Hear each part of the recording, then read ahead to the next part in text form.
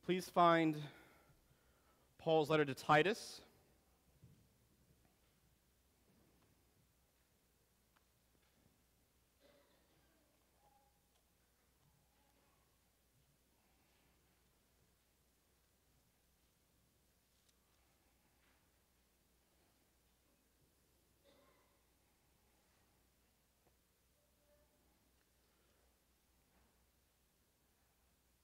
This is now my third sermon in Titus 2, 11 through 15. If you're in Titus 2, go ahead and join me in standing. I want to read to you the Holy Word of God.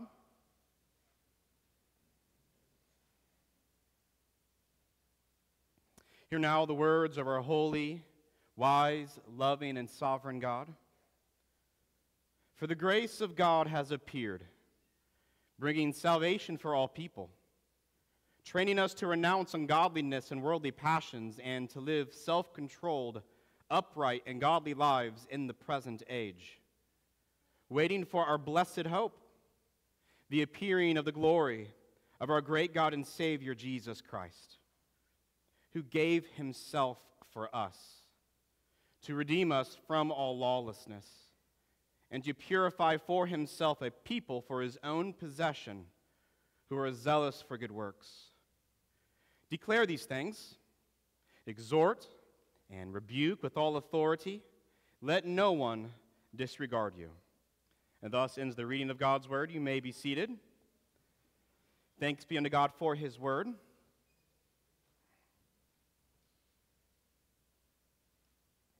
Please join me in prayer.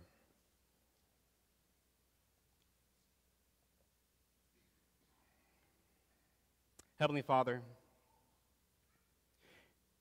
we ask that you would cause the Holy Spirit to write these truths upon our hearts this morning. May He engrave them upon our souls. May they be stamped with this precious truth. That we would, we would know you. That we would know you as you have revealed yourself, as you are in reality that we would love you with all our heart, soul, mind, and strength, and love our neighbor as ourselves, as Christ has so generously and sacrificially loved us. That we would remember what Christ, our Savior, your holy and eternal Son, has done for us. Teach us with your word this morning, O Lord. We pray this in Jesus' holy name. Amen. Well, let me give you a brief, I say brief, but then, you know, a brief reminder about the context. So, Titus chapter 1, verses 1 through 4, as you know, Paul introduces himself. He gives us some details about his ministry. And then he greets Titus with a Trinitarian gospel, the good news as it is in the Father and the Son, and the gift being the Holy Spirit. And then in verses 5 to the end of the chapter, at the end of chapter 1, we have in this section of Scripture where Paul, he's reminding Titus, why is it that he, Titus, was left in Crete? Well, he was left in Crete for a few things. And the first thing being that he would appoint overseers or elders or a more common term around you know, our area, pastors. The Lord was going to not just draw men and women to himself by grace and give them faith in Christ and save them, but out of those men that he has saved, he would then equip and raise up qualified men who could shepherd the people of God with the word of God. And it was Titus's job to say, there's one over there, and there's one over there, and this one right here. Look what the Lord has called him to. The second thing that Paul reminds Titus of is that he must combat false teachers. He is to oppose them. He is to silence or muzzle them. He is to he has a ministry not just towards those who are called to the pastorate in Crete, Titus also has a ministry toward those who are false teachers and those who believe in false teachings. And that's basically chapter 1 of Titus. Now, in chapter 2 of Titus, verses 1 through 10, Paul then is beginning to emphasize Titus's ministry to the Christians in general in Crete. And he's really stressing that Titus is to teach what accords with sound doctrine, to help the Christians there learn how to live distinctly Christian lives, that they would possess and they would practice Christian virtues and qualities. And Paul, he walks through different groups of people that Titus is going to minister to in Crete the older men, the older women, the younger women, the younger men, and slaves. And needs to help them think about how they are to live for the glory of the Lord, how they ought to, with their lives, adorn the doctrine of God our Savior. And then that brings us to our text this morning Titus 2, verses 11 through 15. And sermon part 1 was over verse 11. What has appeared? Well, the grace of God has appeared. And what did it bring with it? Well, bringing salvation for all people. This is the saving grace of God. This grace saves sinners. But not only did this grace appear to bring salvation for all sorts of people, this grace also appeared to bring training to God's people, to train them to renounce ungodliness and worldly passions, training them to live self controlled, upright, and godly lives in the present age, waiting for their blessed hope, the appearing of the glory of our great God and Savior, Jesus Christ. So, this saving grace of God is sanctifying. And something that we looked at and we paid close attention to is that this appearance of God's grace, just like the appearance of God's glory, is none other than the appearance of the Son of God in human flesh. Jesus is the grace of God in human flesh. Jesus is the glory of God in human flesh. And now that brings us right to verses 14 and 15, which we're going to really look at this morning. Now, let me just give you the three questions that I believe that these two verses, by and large, they, they give priority to answering these three questions. Let me point out the questions to you. What did Jesus do? That's the first question. What did Jesus do? Second, why did Jesus do it? And third, what are we to do with this? So, what did he do? Why did he do it? And what are we to do with this? So, what did Jesus do? Titus 2, verse 14. Who gave himself for us. Who gave himself for us. I'm going to say out loud a question that I'm not expecting or necessarily wanting a, um, a verbal response. So here's the question think about it in your minds.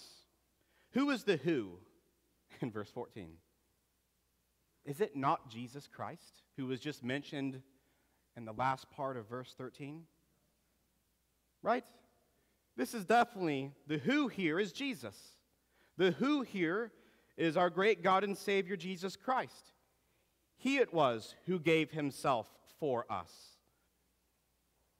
Now, what does this language point out to us? What does it mean for Jesus to give himself for us? What is he giving? What is he doing? I believe that Jesus gave himself as a substitute for us. I think that's the answer. If you have a bulletin under the first question, I have written out an answer with a blank in it, and that blank should be filled with substitute. Jesus gave himself as a substitute for us. Now, what do I mean by substitute? Let me see if I can give you some illustrations.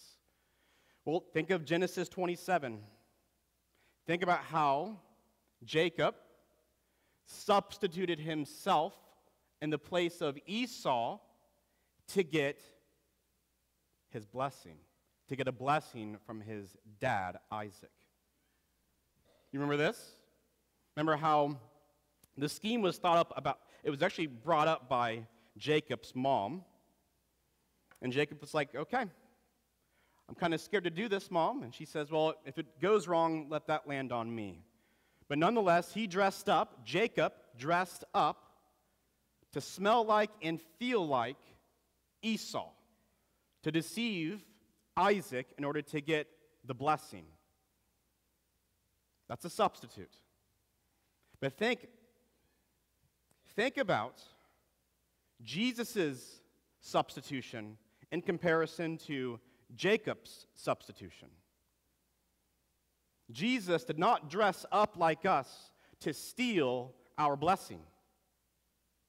No, Jesus dressed up like us to earn our blessing and to take our curse. He's the greater Jacob. He's the better Jacob. He dressed up like us, not to take something that's really good away from, us, Uh, away from us, but to take something from us that's really horrible that we don't want. The curse, sin, and death, the penalty and punishment of our evil. He dressed up to do that for us, not to deceive, but to reveal, not to steal blessings, but to earn them and give them and take our curse. When I think of substitution, I often think of David and Absalom. 2 Samuel. Absalom did some pretty treacherous things to his dad, David, who was king. He betrayed him. He turned the hearts of the people against his father and toward himself. David had to flee from the town, from Jerusalem. And then Absalom, under some bad advice, he tried to hunt down his father to put him to death. But things turned for the good of David, and Joab and those who were with him put Absalom to death. And in 2 Samuel 18, verse 33, when David receives the news from these messengers that are sent by Joab, he hears that his enemies have been defeated by the Lord, knowing that the young man Absalom has not survived. And David goes to the, the roof chamber of the gate and he weeps. And what does he say? He says, Oh, my son Absalom, my son Absalom, would I not have died instead of you? Oh, Absalom, my son, my son. What's David wanting? He's wanting to be a substitute for Absalom. Though Absalom has betrayed him and done horrible evil toward him. He wants to be a substitute. He wants to take Absalom's death so that Absalom wouldn't have to die. Well, look around, my friends. We are surrounded among us with worse Absaloms. We have done a far worse thing toward the Lord our God, our Creator. And He didn't just wish He could be a substitute, he didn't just wish, I wish I could die instead of you. He came and did it, my friends. He was an effective substitute. He is the greater, the ultimate, the better David. And he substituted himself for a worse Absalom. And he actually died for us. Jesus is, in fact, a substitute. He gave himself for us. Take some time and think about Jesus' value and importance. The one who substituted himself, the one who gave himself. Would you say that we are equals to him? I hope not. We're, no, we're nowhere near the importance and value of the Lord our God. This is who came and gave himself for us. Not an equal, but someone who is infinitely transcendent to us in importance and value. Right? Our value, our assigned value from God, is just above, just a little bit above sparrows and grass. And yet, Jesus, our great God and Savior, gave himself for us. The grace of God in human flesh gave himself for us. The glory of God gave himself for us. As Jesus says in John 10 12, I am the good shepherd, and the good shepherd lays down his life for his sheep. John 10, 17, and 18. This is why my Father loves me, because I lay down my life. I have the authority to lay it down, and I have the authority to take it up again. I've received this from my Father. We learn in 1 Timothy chapter 2, verses 5 and 6 For there is one God, and there is one mediator between God and men, the man Christ Jesus, who gave himself as a ransom for all. Did you hear that? Jesus, how did he give himself? He laid his life down. The good shepherd laid his life down for his sheep. 1 Timothy 2 5 and 6, our mediator, the one who can only uniquely stand between us and God because he is us and he is God. He gave himself as a ransom for us. I think of Hebrews 9. My memory is failing me. Hebrews 9 says this, though. It says in 926, listen to what the Word of God says. This is halfway through the verse. He, referring to Jesus, has appeared once for all at the end of the ages to put away sin by the sacrifice of himself. By the sacrifice of himself. Is that not wonderful?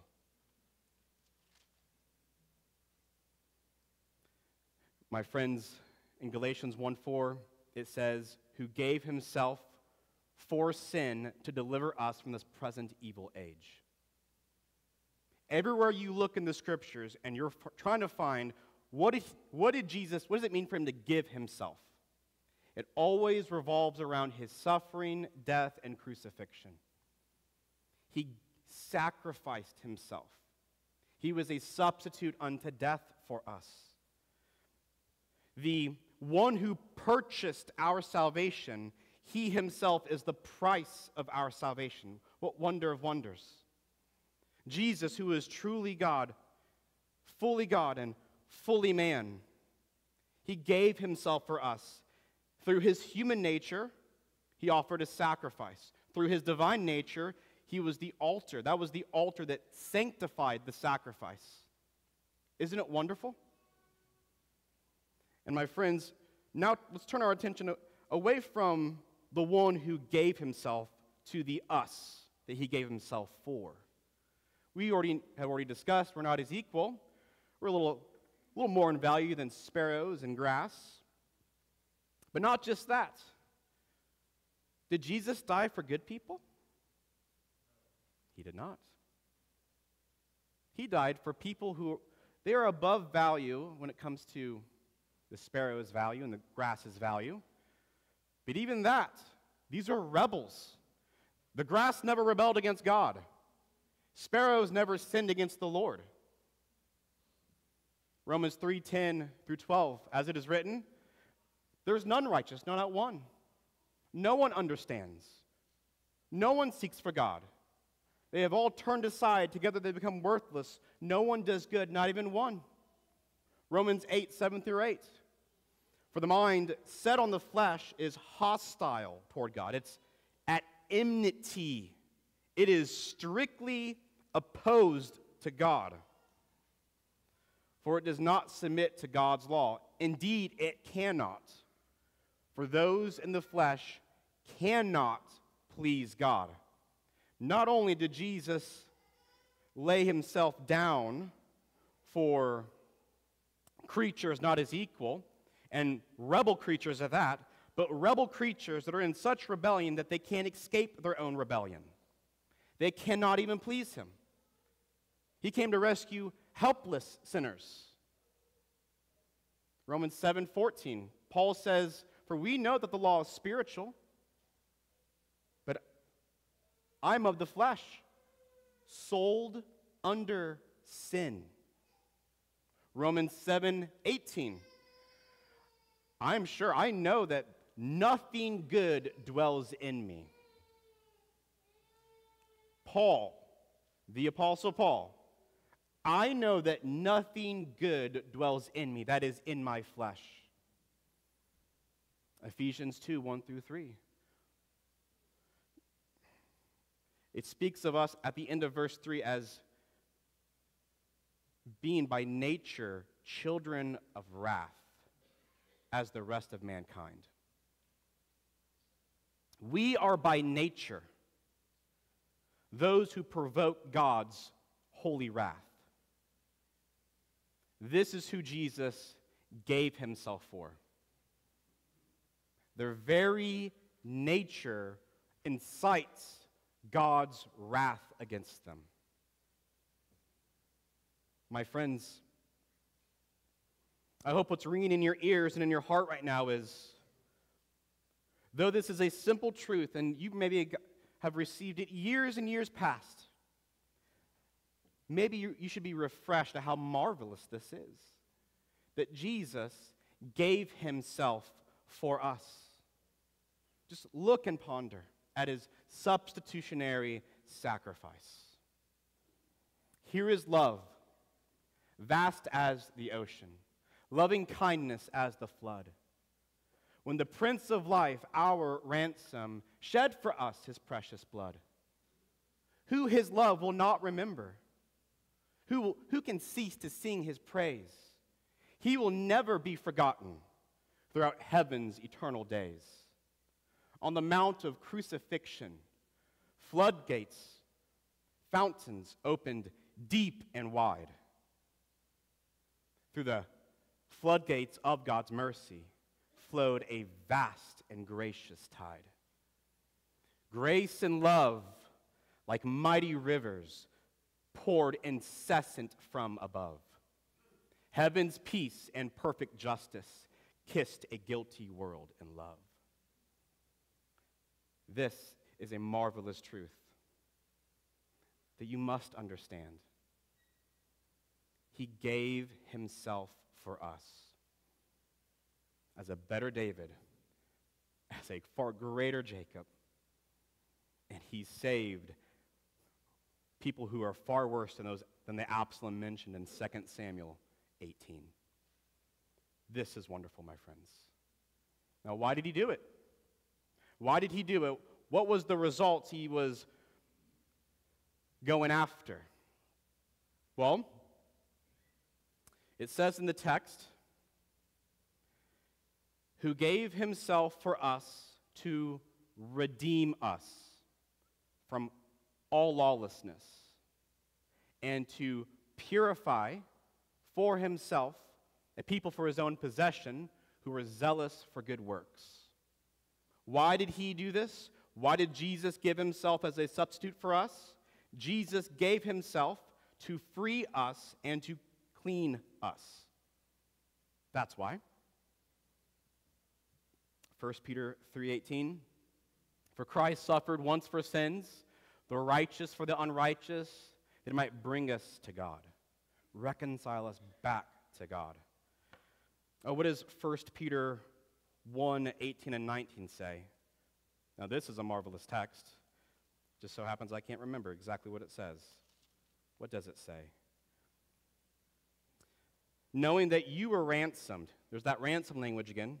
You were ransomed, you were purchased from the futile ways inherited from your forefathers, not with perishable things such as silver or gold, but with the precious blood of Christ, like that of a lamb without blemish or spot. He ransomed us from the futile ways that we inherited from our forefathers. Isn't that amazing? 2 Corinthians 5:21 For our sake he made him to be sin who knew no sin so that in him we might become the righteousness of God. If you were listening closely, you heard that we become righteous in, in the same way that Jesus becomes sinful. Well, we know Jesus didn't become sinful because he did sin. No, he did not sin. He was tempted in every way, yet without sin. Jesus did not commit in thought, word, or deed, or desire sin or evil. So how is it that the text says in 2 Corinthians 5:21, "For our sake he made him to be sin. Because our sin was credited and counted to him, to his account. That's how. And in the same way, we become righteous, not because we commit righteous deeds. No, no, no, no. We do not become righteous because we do righteousness. We become righteous because we are attributed, we are credited Jesus' righteousness. It's the great exchange. For our sake, he made him to be sin who knew no sin, so that in him we might become the righteousness of God. Makes me think of Genesis 15 6. And he believed, and it was counted to him for righteousness.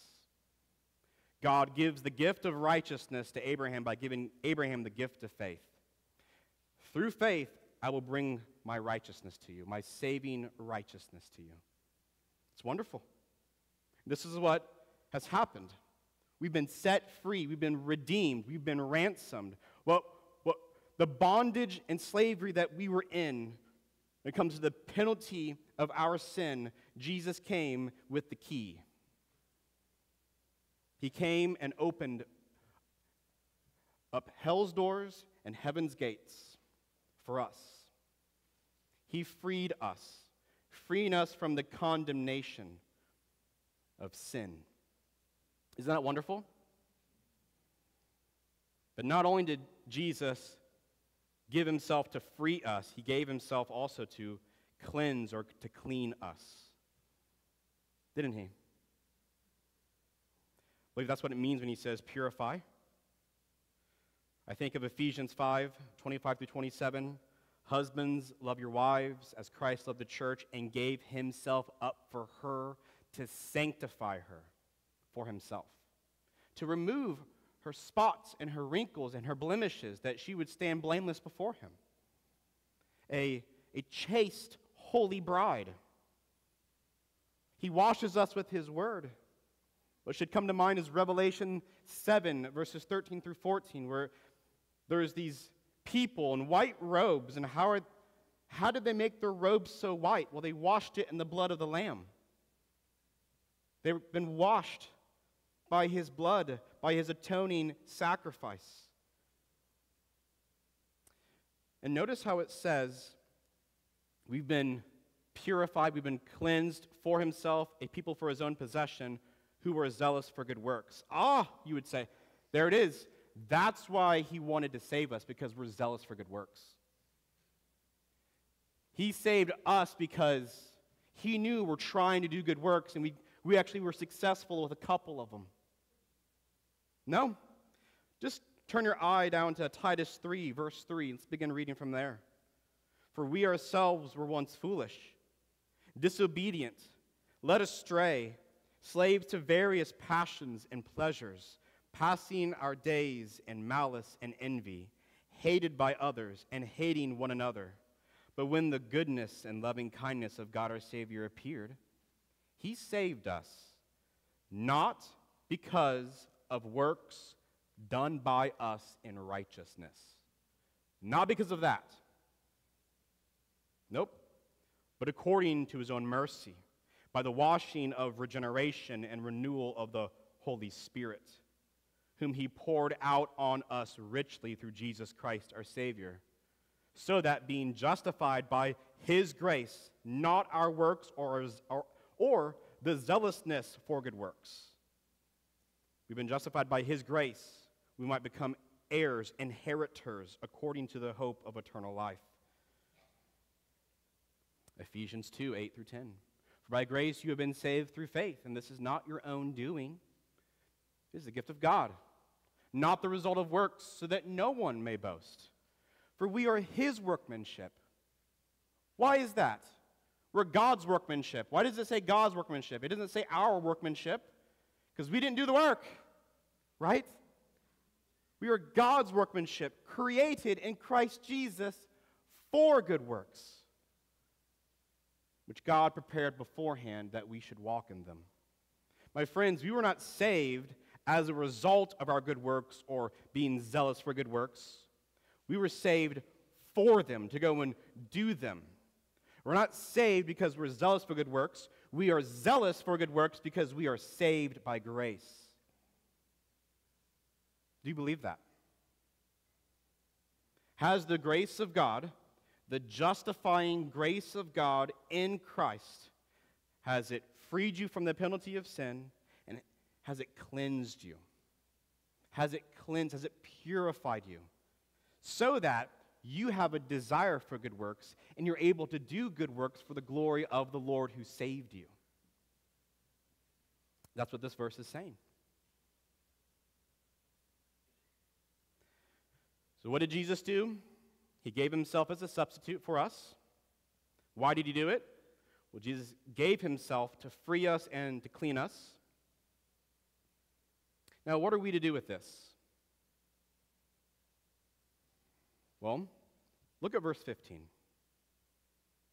Paul tells Titus, declare these things, exhort and rebuke with all authority. Let no one disregard you. Notice how Paul does not tell Titus, you need to embrace these things, because Titus already has embraced these things. So, Titus, you, you know what I'm talking about. You know the good news. You've trusted in Christ. Do this, which is speak. We are to speak of these, of these things with steady determination. We're to insist upon these things. We're to open our mouths and talk to our families about it. We're to open our mouths and we're to talk with authority to our, our friends, those we see at work from week to week. You know, the, our neighbors in our neighborhood, the, pity, the, the, the, the, the people that live in the city that we live in, we ought to, with authority, talk to them. And notice how it says, right, speak with authority. Man, that, that makes me think about what Jesus says in the Great Commission. Matthew 28, 18 through 20. For Jesus said, All authority in heaven and on earth has been given to me. Go therefore and make disciples of all nations, baptizing them in the name of the Father and of the Son and of the Holy Spirit, teaching them to observe all that I have commanded you. And behold, I will be with you always, even to the end of the age. It makes you think about how Paul spoke to those in the Areopagus in Acts 17. He spoke with authority. Remember, Acts 17, I believe it's 29 through 31. Paul just got done saying, you know, you already believe that we are, cre- we are creatures made by God. So, if, in that sense, we are his offspring, if he, right, if he bore us up, if he created us. And if we're not like statues of stone and precious metal, why would you then assume that the one who created you is? That doesn't make any sense. Nonetheless, the Lord has overlooked these times of ignorance, but now God commands all men everywhere to repent.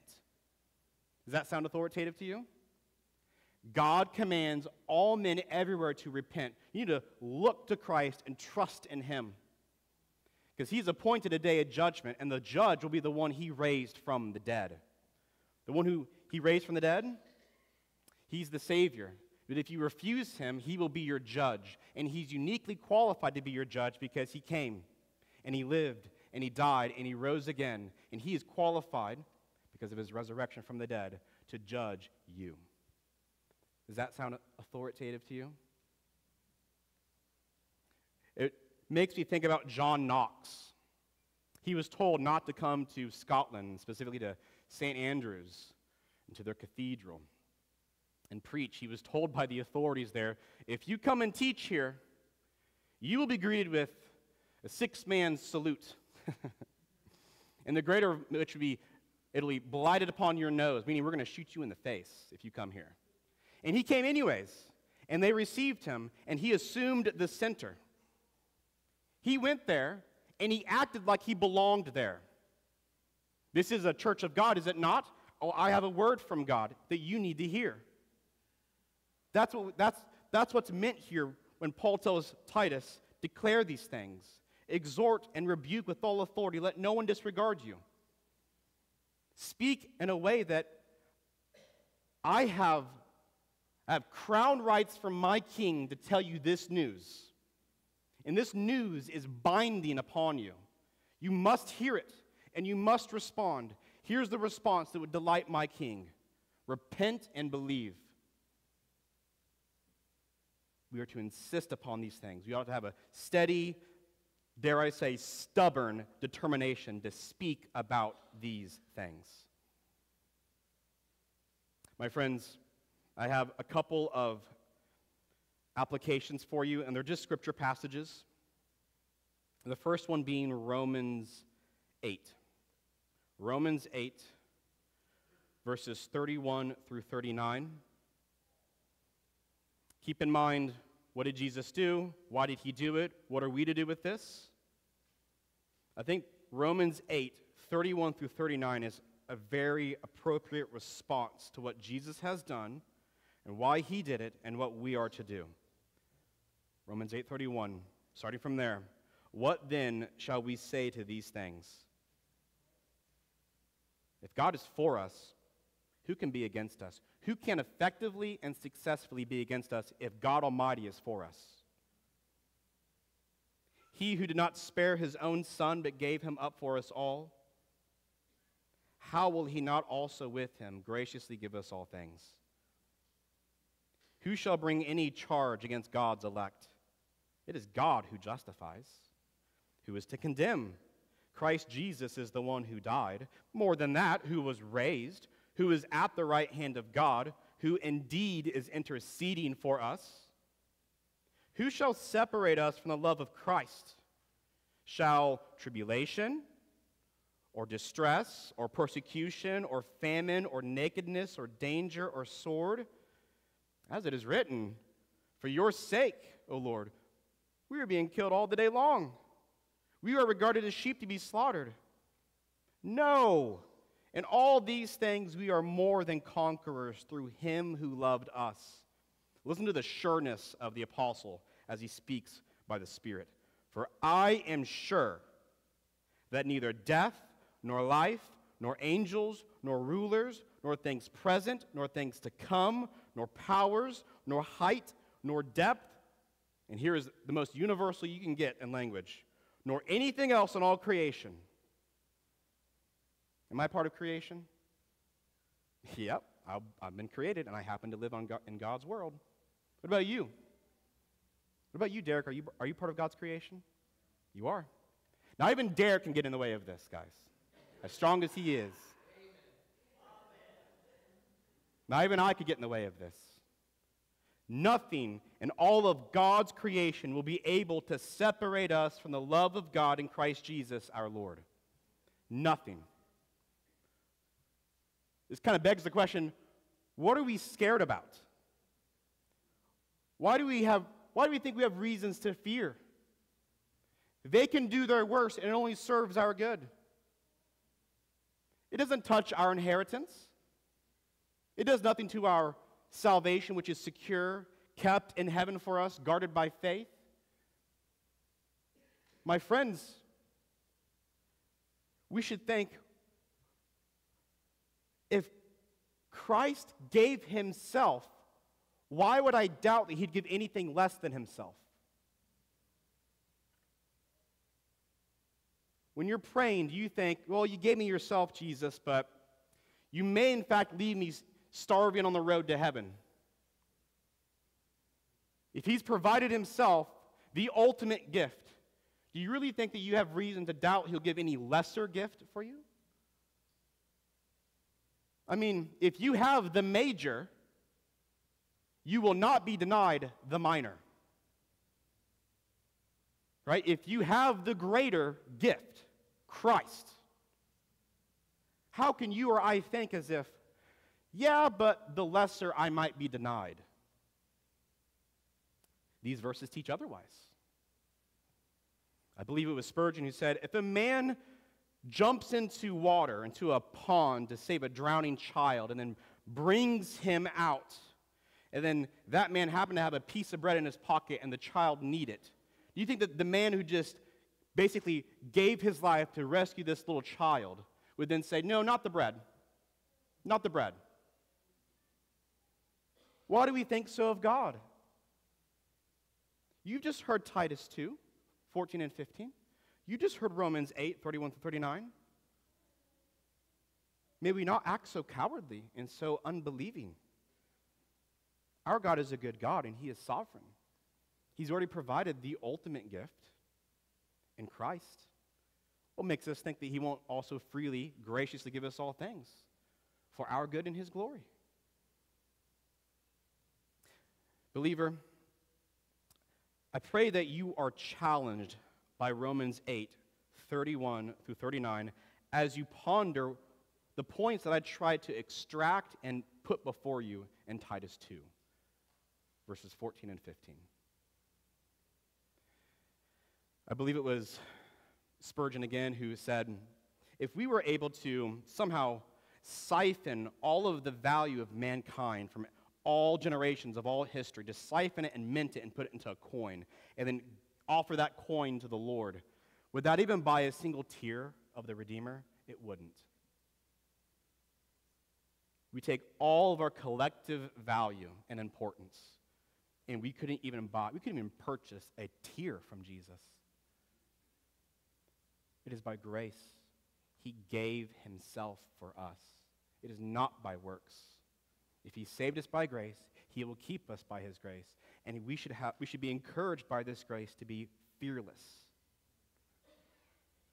Now, that time where I, back in verse 15, how I kind of made a big deal about how Titus wasn't instructed, you need to embrace this because he's a believer. Now, if, you, if there are unbelievers among us, I think there might be, keep in mind that Titus 2:15 is not instructions for you. You must first receive the gospel before you start insisting others to hear it. You must first trust in Jesus before you rebuke with all authority. The verse that came to mind for you all would be Isaiah 45, verse 22. Turn to me and be saved, all the ends of the earth. I am God and there is no other. And I can't help when I think of that verse, when I think about its simple command to turn, ancient translations would say to look. Look unto me and be ye saved, all the earth. I can't help to think about Spurgeon's conversion because that was the verse that was preached. He was in a snowstorm. He didn't happen to go to the service he wanted to go to, so he just kind of uh, he said, I can't get there, so I'm going to go to this other service. I'm not really looking forward to it, but I'll go there. And he goes, and even the preacher who was appointed to preach that day wasn't there. And this thin, thinly old man gets up there, and he gives a 10 minute sermon to 12 people. and he does not stray from his text. And it's Isaiah 45 22. Look unto me, and be ye saved, all the ends of the earth. Look, he said. Spurgeon said he even pronounced the words rightly. But nonetheless, he kept shouting, Look! You don't need to go to college to look. And then Spurgeon said, He actually pointed me out as the stranger and said, You have a miserable look about you, son. And you'll be miserable indeed in life and in death if you don't look at Christ. If you were to look this very moment, you would be saved. Look and live, young man. And Spurgeon said, I wasn't used to people making remarks from the pulpit about my appearance. But nonetheless, it was a good struck. It was a good blow that was struck to me. I came there, I was ready to do 50 things to get saved. And he just said, Look. And I looked, and I looked, and I looked at Christ. I looked, and I could have looked my eyes out, he said. And that word became a, a precious word to me. I looked at Christ by faith, and the darkness seemed to flee. So, unbeliever, look unto Christ. Let's pray. Heavenly Father, we are so grateful that your Son gave himself for us. That he is our substitute, that he represents us before you. For he is perfect in life and death and resurrection and that he gave himself to free us and to clean us. May those who are on the fence about Jesus look to him and trust and to get off that fence by repentance, turning to the Lord and coming to him by faith.